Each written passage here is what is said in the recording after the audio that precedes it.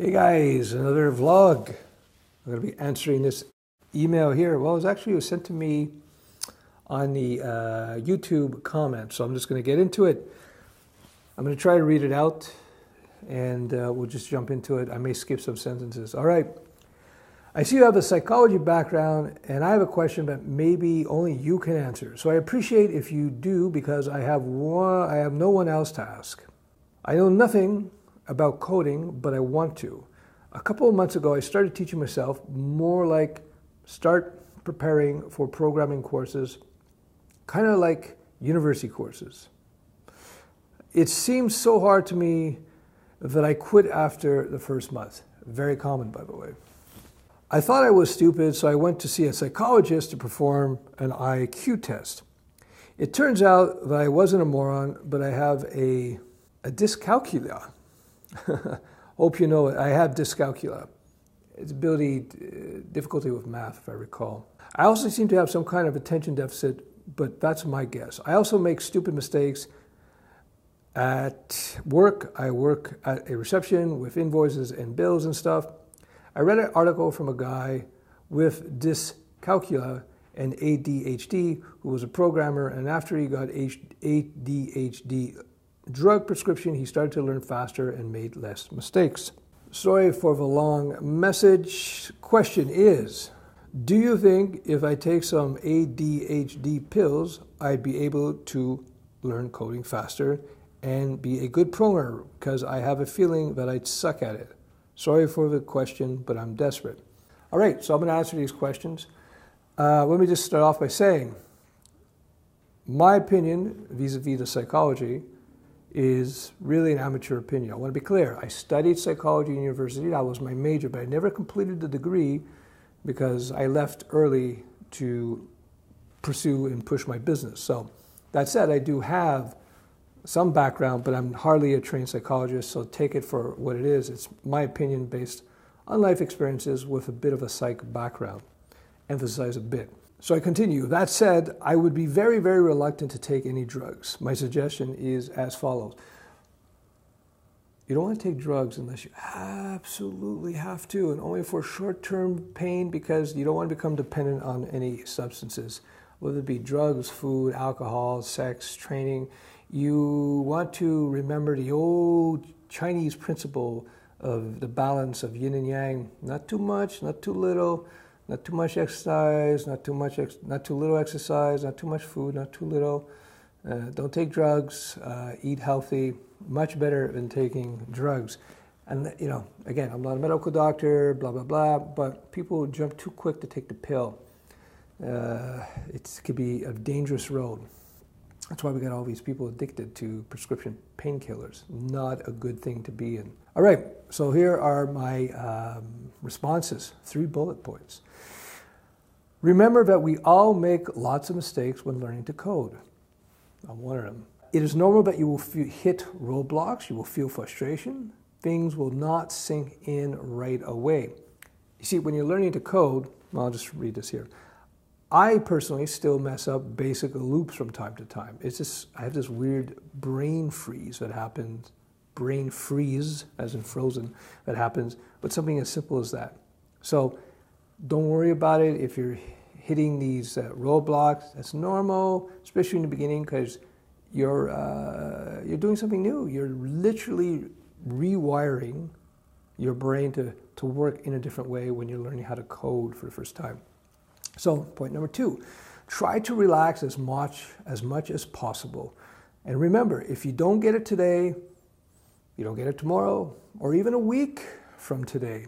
Eventually, you'll get it.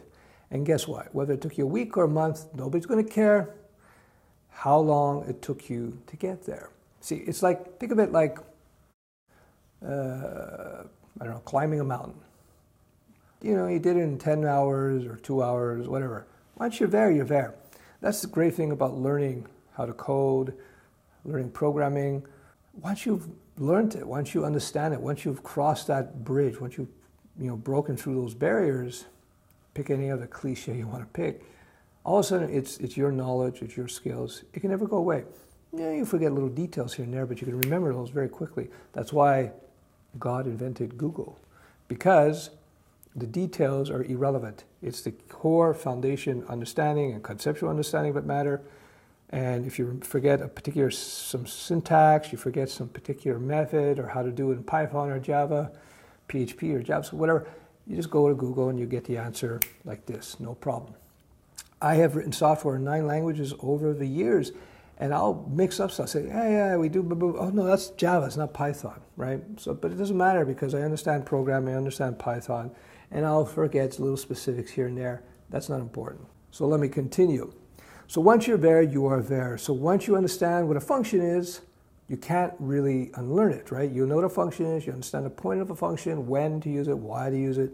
This is not, that's not something you can unlearn. So it doesn't matter if it takes you two weeks to learn it or a month, doesn't matter. So just take your time, do a little every day. You want to expose your brain to this new knowledge, this new way of thinking every day.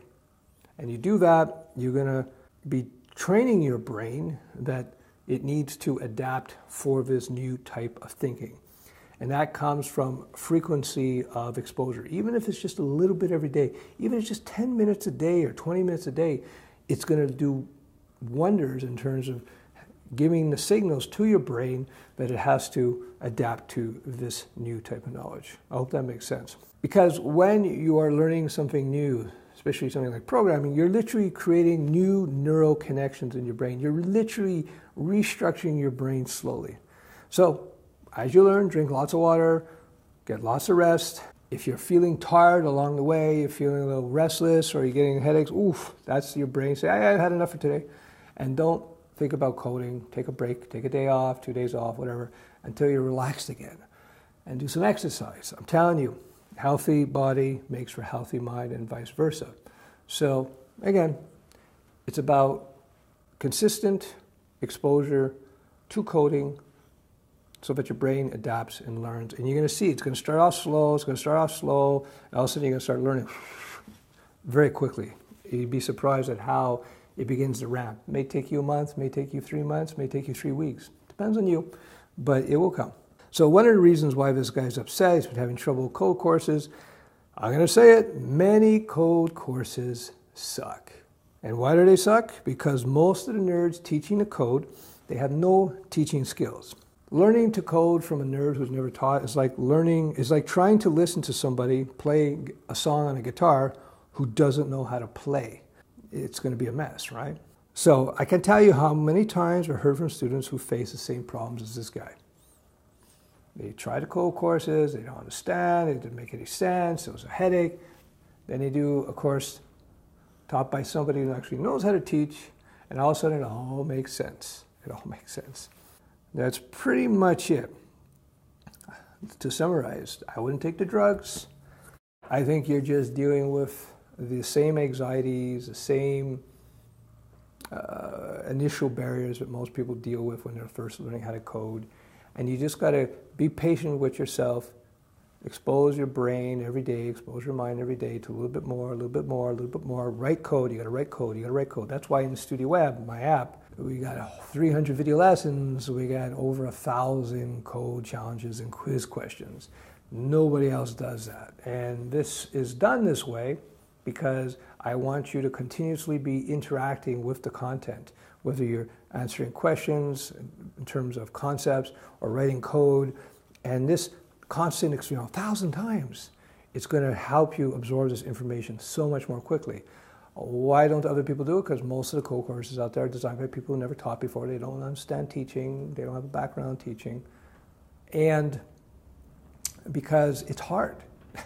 My code challenges have uh, about 25,000 words. To put in perspective, my book on web design, I wrote this 224 page book. There we go. This has about 30,000 words. The quizzing component to Studio Web for the foundation courses has about 25,000 words, something like that. I forget the last count because I made adjustments over time. So you got a book of quizzing along with the 300 video lessons which takes advantage of my knowledge of how the brain works, the psychology background, the teaching, etc.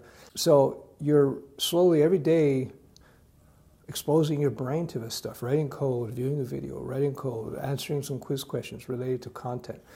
That's how you're going to learn very quickly. So give yourself time, daily exposure, take breaks, drink water, don't take drugs, and you'll get there. And it doesn't matter if it takes you an extra month to learn or two months to learn. It doesn't matter because once you're very aware, and nobody's going to care if it took you one month or six months to learn the stuff. I hope that helps. Bye bye.